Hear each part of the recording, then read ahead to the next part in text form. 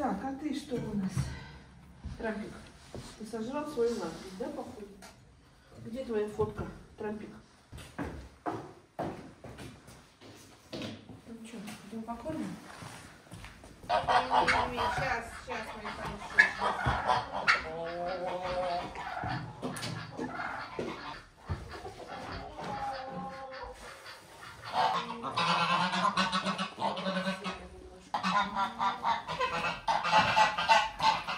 А, смотри. Давай я тебе сюда кину, ты любишь отсюда кушать. Да. Давай. О.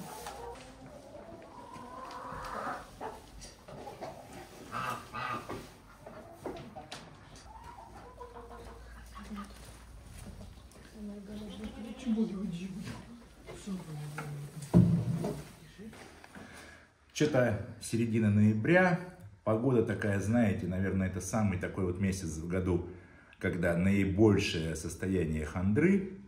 Приехали на ферму, всех покормили, сегодня в кафе нерабочий день, и что-то решили э, снять видос. А, скажем так, сейчас я в активной фазе дописывания деревенского маркетинга, это книга следующая, после той, которая у нас выходила про содержание разведение перепелов «Эх, перепелочки мои», она называется, книга в электронном виде, но мы вот ее распечатали, вот так вот она выглядит.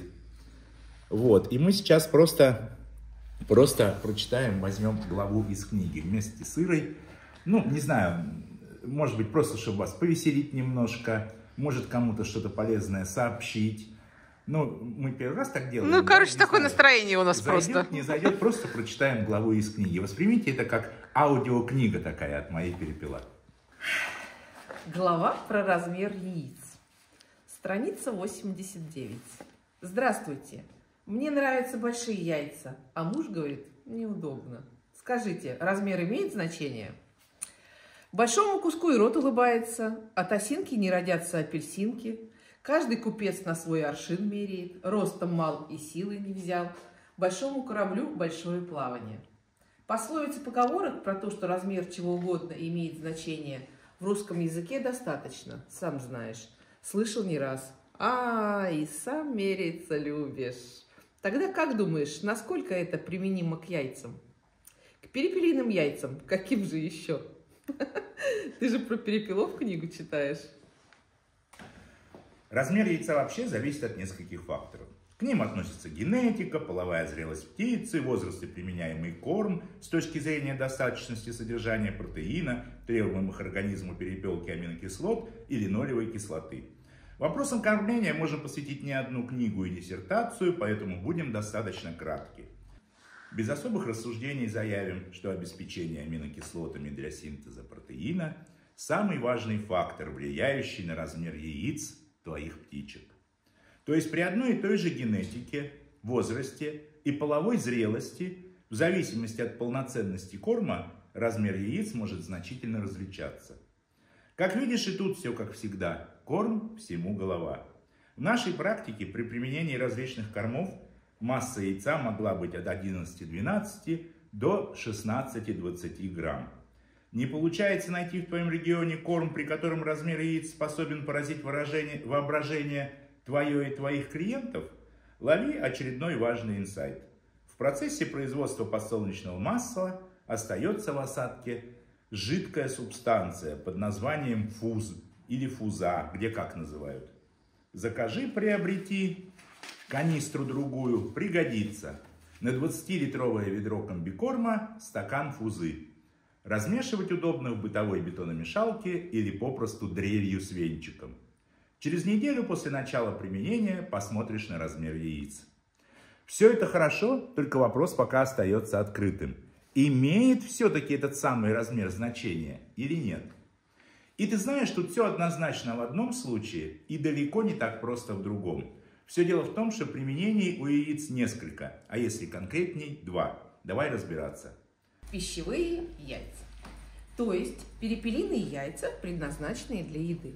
Тебе, семье твоей или клиентам твоим.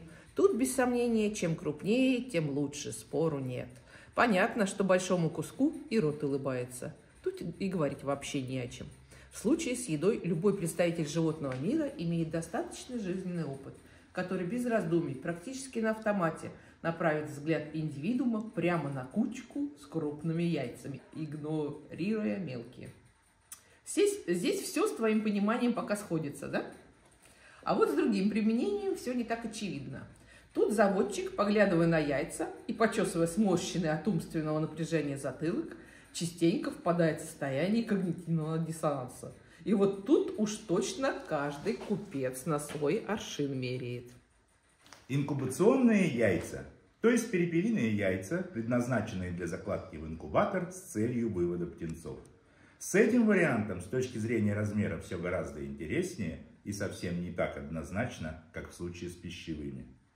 Вообще с инкубацией мы, конечно, на данном этапе забегаем немного вперед. Про все эти выводные дела мы с тобой еще успеем наговориться, не переживай. Но раз здесь зашел разговор про размер, то слушаешь, куда от вопросов твоих деваться.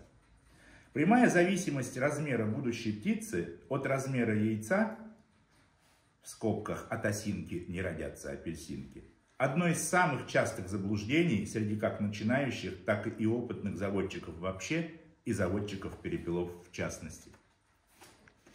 Казалось бы, логика проста и понятна. Крупное яйцо – крупная птица, мелкое яйцо – мелкая птица. А нет, не так. Дело в том, что размер будущей птицы в первую очередь зависит от генетики и от кормления птенца в период выращивания. Правильное полноценное питание – птенец вырастет в здоровую, красивую птицу требуемого, заявленного генетикой размера. Неполноценное, а иногда и ограниченное по количеству питания – хватит, сколько можно жрать.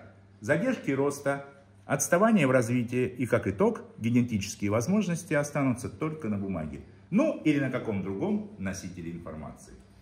А размер яйца, как ты уже знаешь, в первую очередь зависит от корма. И что в итоге? А итог давай рассмотрим на примере. Так нагляднее будет.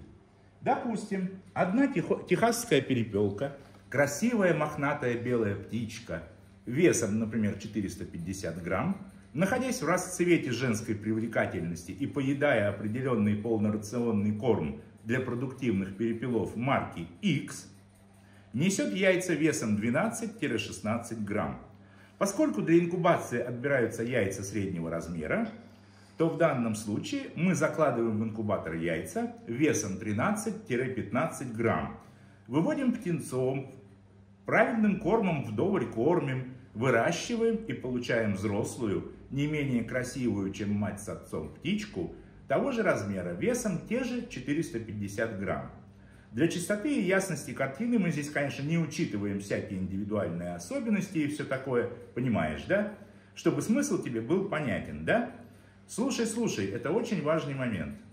Теперь давай допустим, что в то же самое время в другом, не менее перепелином царстве государстве живет другая, не менее техасская, не менее мохнатая и привлекательная перепелка. Того же размера, с теми же 450 граммами веса, который также поедает полнорационный корм для продуктивных перепелов, только марки Y. Корм жирный, вкусный, всяких протеинов, аминокислот полно, и каждый день, яростно тужусь и напрягаясь, так, чтобы хоть глаза не вылезли, несет наша красота крупнющие яйца по 18-22 грамма. В перепелином царстве не только быстро сказка сказывается, но и дело делается. Поэтому Заложив инкубационный, в инкубатор яйца весом 19-21 грамм, то есть, опять же, среднего размера, уже на 17 день радуемся появлению на свет веселых пухляшных карапузов. Так же, как в первом случае, растим, кормим, пои, поим. И что получаем в итоге? А? Знаешь уже? Правильно. Абсолютно то же самое, что и в первом случае – то есть техасскую, похожую на родителей перепелку весом 450 грамм или около того. Понимаешь, в чем прикол, да? То же самое. На примере все вроде ясно и понятно, а когда смотришь на яйца, то руки непроизвольно тянутся к большим. Правда же? Такой вот он странный мозг человеческий. Когнитивный диссонанс, да и только. Поскольку инкубационные яйца породных перепелов – одно из направлений нашей деятельности – то представляешь, сколько дерьма вылилось, на нас вылилось за эти годы, да? Просто потому, что в большинстве случаев, как мы уже писали, каждый купец на свой аршин меряет. То есть, если в хозяйстве у заказчика перепела несут 10-12 граммовые яйца, а мы прислали калибром 14-16 грамм, то мы самые лучшие, и птицы у нас самые лучшие. И вообще все круто, здорово, каев.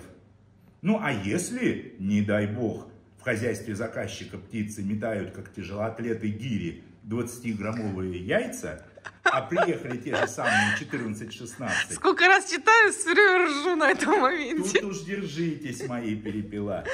Что же с этим делать, спрашиваешь? Ну да, правильно, повышать грамотность населения. Собственно, чем мы сейчас здесь с тобой и занимаемся. Тяжело же без знаний-то голову каждый раз ломать, да? Так и облысеть от напряжения ненароком можно. Кстати, лысина у перепелов тоже случается. Слышал о таком? Следующая глава. Здравствуйте. А почему у меня перепела лысеют? У меня, кстати, муж лысый. Может, заразил? Но, друзья, это уже совсем другая история. В нашей замечательной книге, я не могла это не сказать, Сам себя не похвалишь, да? да, 155 страниц, между прочим. А, вот такой... Больше было, вот, нет? 155. Вот Да? такой вот, да, томик у нас получился. Абсолютно полезнейшая информация. Еще раз покажу вам обложку.